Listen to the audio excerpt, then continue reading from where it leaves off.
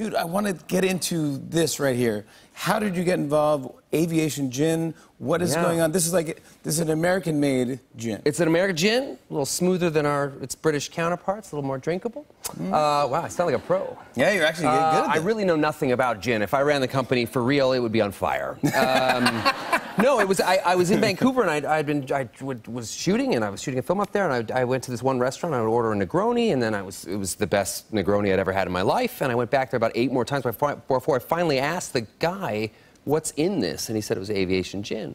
So I did a little research and it won. Uh, like got like a 97 for wine and it's like the highest rated gin ever for that particular uh, company and uh, and it was tiny so I was able to meet some of the owners and weasel my way in as an owner That's where and I love it Where is amazing. based at? Uh, it's based out of Portland Portland Oregon Cheers. Now, Yeah. what, what, what, what, was this just gin and soda?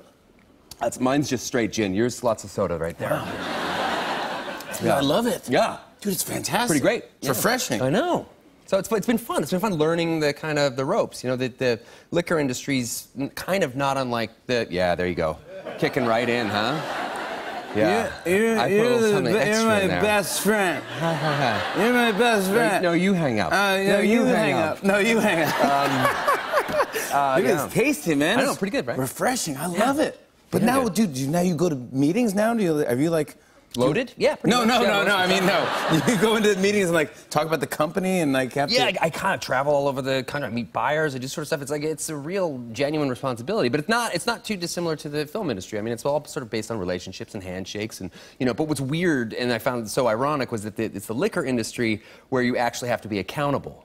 Like in the in the film business, you can, you know, if you're working on a movie, you can go out for a night of drinking and then, you know, miss work because you fell asleep on a stove.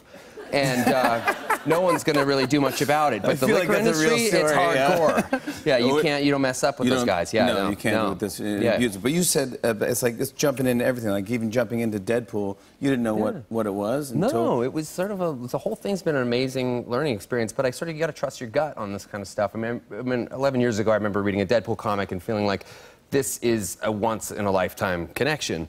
And then a few years later, I met my wife, and I was like, oh, I guess a once in a lifetime connection can happen twice. And then, uh, and then we had our children, and that's when I realized that I love gin.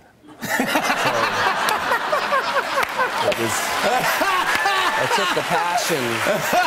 of course! I went deep Of with the course. passion, right? so that's when I bought I bought aviation gin. That's yeah. fantastic, Yeah. dude. Uh, uh, I know that you, uh, if you do go on vacation, uh, you have to have an out-of-office email reply Yeah, yeah. that people do, and you're not really used to those types No, of... it's also formal. Yeah, suddenly I have a, a, like a, a, a pseudo cyber office, and I have to be again. I have to be accountable. So Yeah. when I'm I, when I'm away, I have to uh, send out out of office emails. So if you email me at the company, you get a response back at least, and it's, yeah, yeah it's but do- fun. And, and some people told you to, you know, just keep it short and sweet. Keep it short, sweet. Out of the office. Nothing uh, personal. Not checking my emails. Be back. Yeah. Yeah. So I You- went deep. This is six paragraphs long. Yeah. I just, just a, Yeah, yeah. This is your out of office email Yeah. reply. We highlighted some stuff. Yeah, it was, it was In case you wanna yeah, just- it, was a, it was a bit of an overshare. I enjoyed it. It was, uh, yeah, I said, this is my only, only my second out of office reply, and from what I'm told, it should be short, sweet, never only pers- never personal.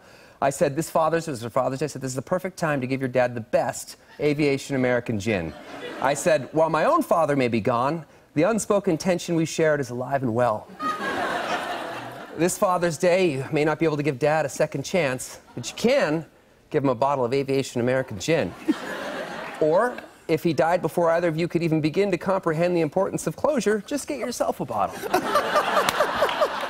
Happy Father's Day, Ryan Reynolds. Yeah, I mean, that's just an out of office Aviation reply. gin. Short and sweet. Yeah.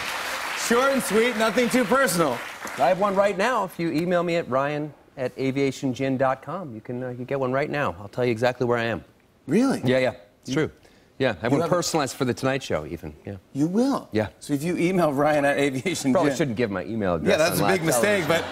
but you're gonna get emails, dude. Works for everybody else. Works for politicians. Yeah. Why not? Uh, Uh-huh. On and on and on. Uh, I said. And it's on and on and on.